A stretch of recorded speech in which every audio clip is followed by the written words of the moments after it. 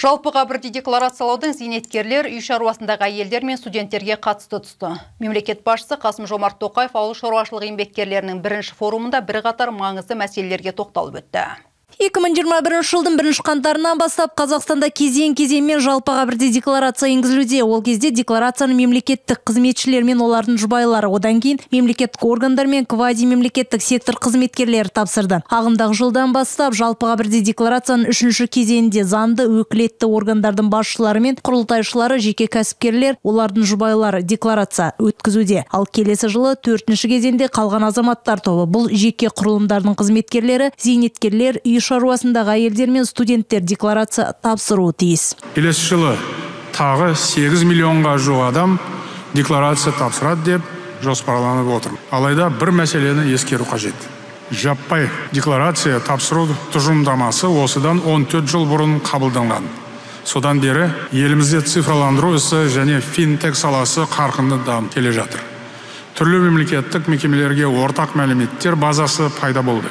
Қаржы және салық бақылауы күшейді демек осындай ауқымды өзгерістерден кейін төртінші яғни соңғы кезінде азаматтарды декларация тапсыруға міндеттеу қаншалықты орынды деген сұрақ туады. Мемлекет басшысы ауыл шаруашылық қызметкерлерінің бірінші форумында жалпыға бірдей декларацияның төртінші және соңғы кезеңіне жататын азаматтардың декларация тапсырғаны қаншалықты орынды екеніне назар салды. Үкімет бұл мәселені жан жақты пысықтау қажет деді. Я уже сам не первый год эту декларацию мен өзімнің декларацияны тапсырып жүргенім алғашқы жыл емес жалпыға бірдей декларацияда айтарлықтай қиындық жоқ. Тек өзіңіздің ақшалай қаражатыңызды көрсетесіз қалғаны мәліметтер базасынан алынады. Қатардағы тұрғынға декларация толтырып тапсыруда қиындық жоқ.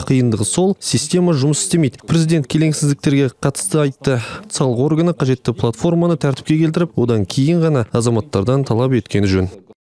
Президент әлеуметтік желідегі әдемі суреттер мен агрессиялы жарнама елес өмір мысалдары екенін және жастардың бойында сол жалған құндылықтар қалыптасып жатқанына алаңдаушылығын білдірді. Қалай дегенмен әрбір жетістіктің бастауында тыңғылықты еңбек тұрғанын атап өтті. Ауыл шаруашылығы еңбеккерлерінің форумында қазір елімізде жылқы саны өсіп келе жатқаны бірақ асыл тұқымды жылқы үлесі аз екенін атап өткен президент мал тұқымын асылдандыруға баса мән берген жөн деді. Қазақстанда жылқының бірнеше түрі бар. Оның ішінде қазақпен бірге жасап келе жатқан жабының орны ерекше.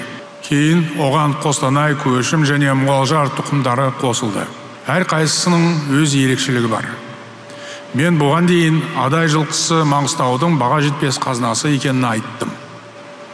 Оны әлемге таныту үшін нақты шаралар қабылдауды тапсырдым.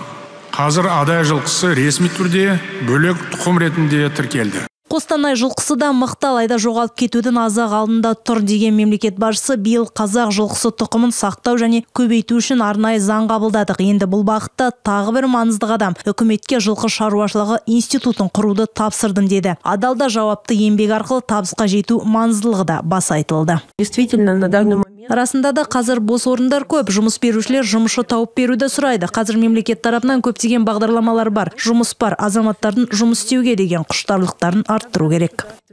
Президент өз сөзінде осыған дейін жұмысшы мамандықтардың өкілдеріне өнертапқыштар мен ғалымдарға құрметті атақтар белгілеуді ұсынғанын еске салды. Осы мақсатта тоғыз құрметті атақ пайда болады. Ауыл шаруашылығы қызметкерлерінің ел дамуына қосқан үлесін атап өтуге назар салынбақ. Мемлекет басшысы таза қазақстан акциясында алға тартты. Оның арқасында елді мекендер тазарып жаңа келбетке ие болды деді қасым жомарт тоқаев. Қоршаған ортаға қамқорлық қоғамдық мәдениеттің құрамдас бөлігіне айналды. Мемлекет басшысы халықтың экологиялық мәдениетін арттыру мақсатында арнайы тұжырымдама қабылданғанын да атап өтті. Ақгүл матуова шалқар алтынбеков данил заславский бесінші арна.